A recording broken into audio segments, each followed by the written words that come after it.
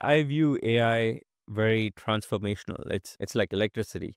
When when we first had electricity and the first transformers were put up on your street corners, people were like, "Oh, I don't know, what will you do with that?" You just had your oil lamps and that that you know you, you were thinking of replacing a bulb, but then you realize it's transformational because entire industries move to it, and entire workflows get automated or or differentiated, and and humans can do something else, right? So to the point where even electric cars are just a it's recent, right? So the the innovation with the uh, the investment in the infrastructure and the AI impact will take and it'll be a few generations before you know the the entire impact of what all it could affect but we should view it as transformational as electricity and part of what's going to be fueling everyone to build upon this transformational layer of new architectures new gpus massive scale is going to be ROCm 7. It's going to be AMD's Developer Cloud. Two big announcements coming out of the conference today.